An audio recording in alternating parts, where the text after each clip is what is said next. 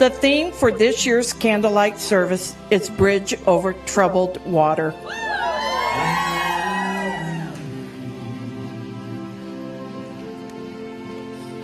Feeling small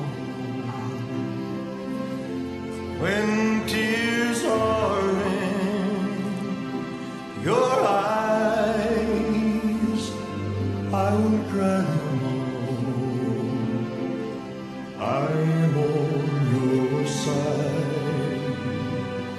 Oh.